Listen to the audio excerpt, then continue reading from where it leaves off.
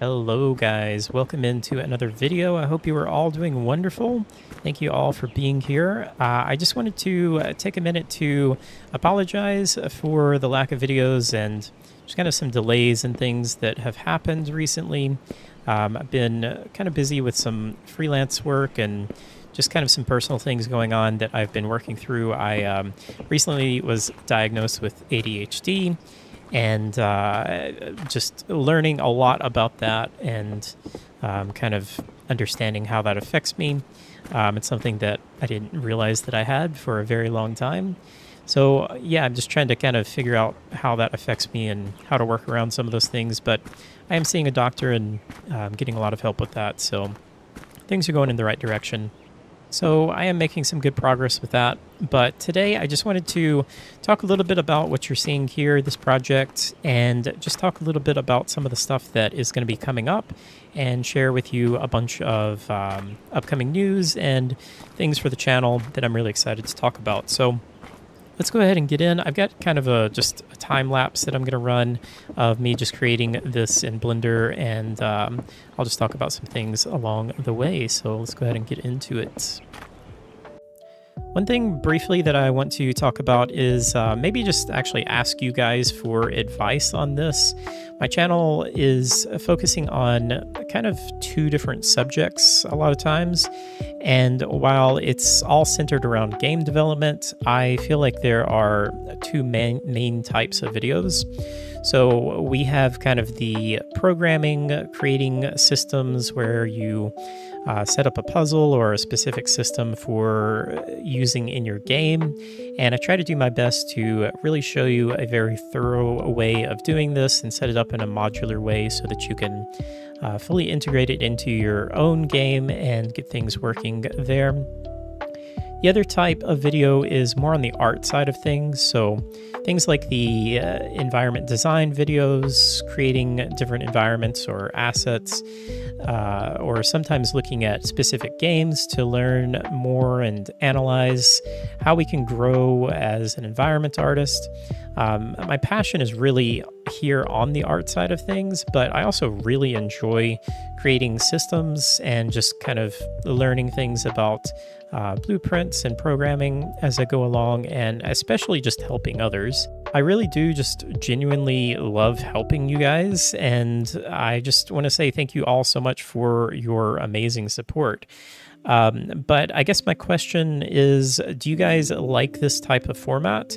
Uh, would you prefer that I focus more on the environment art or maybe the systems part? Or do you like the balance that we have right now where it's a mix of the two?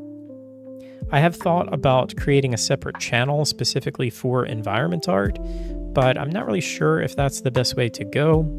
Um, so, anyway, I would love to hear what you guys think on this. And uh, if you guys have anything to say, feel free to leave it in the comments below. Now, next up, I just want to talk a little bit about uh, some of the things that I've been working on lately, specifically for the first person horror tutorials and the first person horror character and those kind of things. Um, I've gotten a bit messy with some of my previous projects, and uh, I want to do a little bit of an overhaul to condense everything into one single project. My ultimate goal is to create an entire template for you guys to create your own game from start to finish.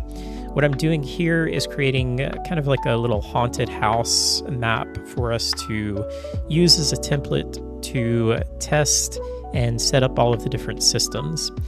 Now, of course, all of the previous tutorials are still completely valid and we'll be using a mixture of all of those, as well as new puzzles and systems that I'm working on for tutorials.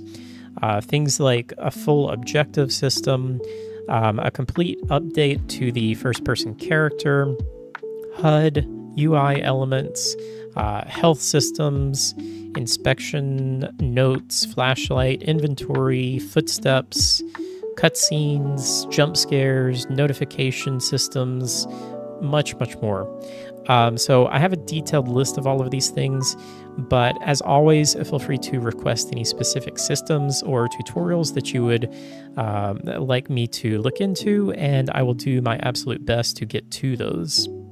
In the immediate future, so um, either maybe late this week or definitely next week, I will be having hopefully kind of an updated um, tutorial for just like our general project here that I'm going to talk about a few things that I have updated just in terms of the character that I'm using and um, just kind of give us like a, a good starting point for that. Now, again, all of the stuff that we've done before is still perfectly valid. You can absolutely continue using all of that stuff. We're going to be using all of that stuff.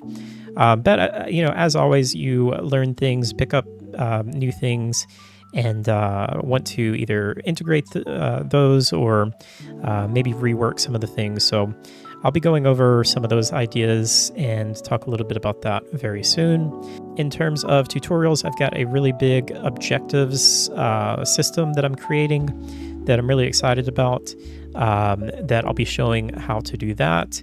And there's a lot of kind of HUD and UI stuff that I've been getting into.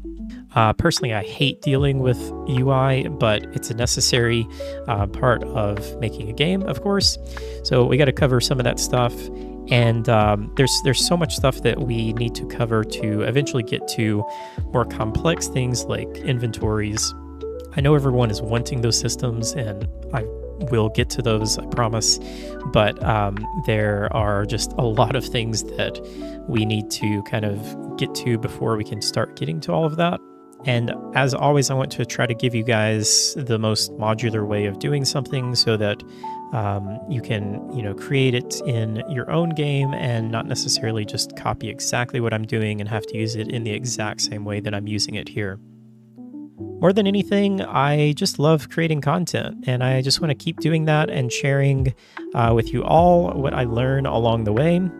I'm so glad that I'm able to share all of this with you, and I love seeing the the things that you guys make.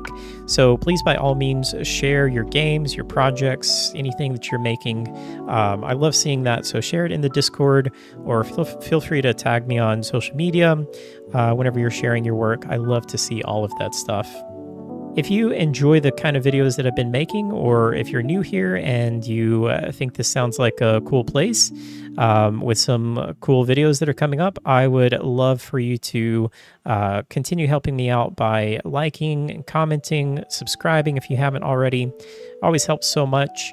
Uh, if you want to support me even further and get some great perks, feel free to check out the links below uh, where you can get early access to videos, uh, free assets that I give out every month, project files, and much, much more. Um, I also sell some assets on Fab if you ever need any assets for your game. Uh, you can check those out. Um, I have a few different types of environments and just kind of some standard assets that are mostly geared around horror games. Um, but if you ever need any great assets, then um, feel free to check those out. And I just want to say a huge, huge thank you to everyone who has gone that extra mile to support me in any of those ways. It means the world to me, and it has really enabled me to uh, continue to put more time into working on this and doing what I love. So, thank you all so, so much for that. I tried to keep everything reasonably priced so that you don't have to spend a fortune to get assets and support me that way. I'll probably uh, package this project and put it up on Fab for a very small fee if you want to get access to everything and use it as a template to start your game. Uh, it'll be very inexpensive, especially up front.